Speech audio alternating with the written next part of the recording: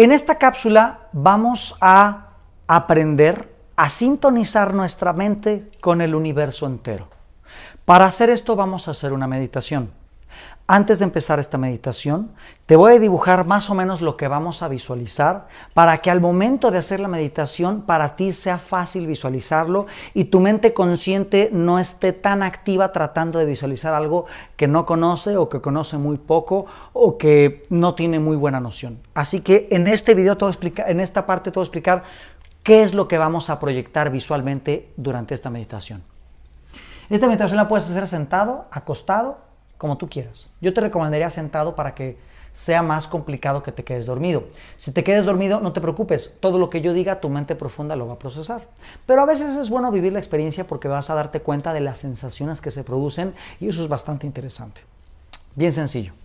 Imagínate que vamos a estar sentados.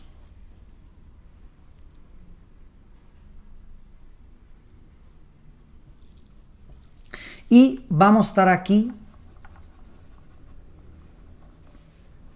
Imagínate que tú eres así de delgado.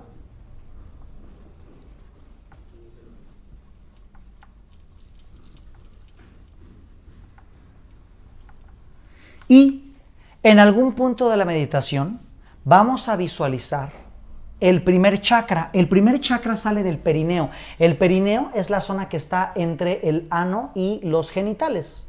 Se siente como un cierrecito. Aquí en México le llaman el niés, porque ni es cola ni es culo sino que está en medio.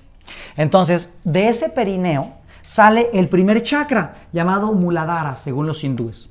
Y ese chakra, bueno, recuerda que los chakras son simplemente vórtices, ¿ok? Son remolinos. Si los viéramos de frente, si los viéramos de lado, ¿ok? Entonces del primer chakra sale un remolino hacia abajo que vibra en color rojo. Y en algún punto vamos a visualizar como un hilo de luz sale por ese chakra y nos conecta con el planeta Tierra.